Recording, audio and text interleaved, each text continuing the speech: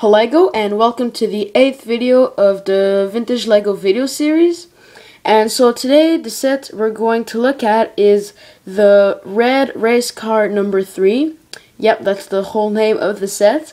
And the set was released in 1991. And so there's not much to it, it's just a race car with a racer in it. But again, just like the minifigures, and I see the evolution of their sets. Like today, they would probably make the race car a bit bigger and put more detail on it or put different parts because it's a pretty basic car. But it's very nice though, like the number three here and stuff. And so I'll show you the minifigure. So there he is.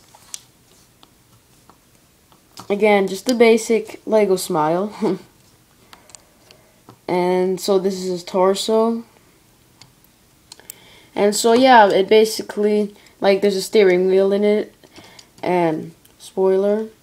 At the back there's like the muffler. So yeah, the that's uh, the set. Um, there's not much to it, uh, but it's very nice.